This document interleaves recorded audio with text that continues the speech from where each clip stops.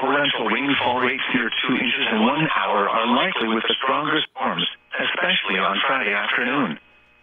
Where? Portions of central, east central, north central, northeast, northwest, and west central New Mexico, including the following areas in central New Mexico, central highlands, eastern Lincoln County, Estancia Valley, San Agustin Plains and adjacent lowlands, Sandia and Manzano Mountains, including Edgewood, Central Highlands and South Central Mountains. In east central New Mexico, Guadalupe County.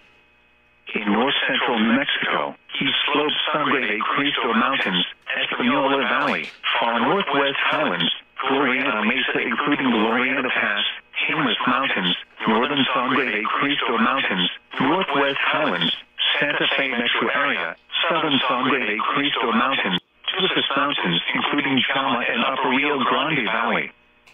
In northeast New Mexico, eastern San Miguel County, far northeast highlands, Harding County, Johnson and Bartlett Mesas including Raton Pass, northeast highlands and Union County.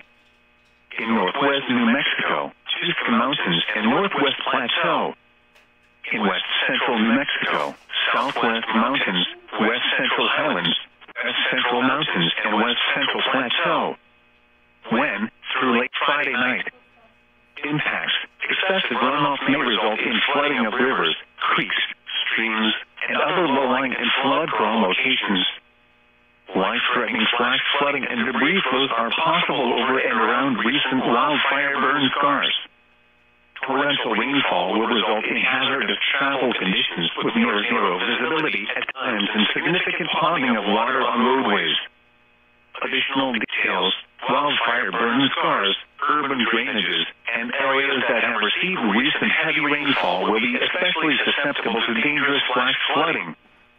http colon slash slash www.weather.gov slash safety flood. You should monitor later forecasts and be prepared to take action should flash flood warnings be issued. Forecast for the Middle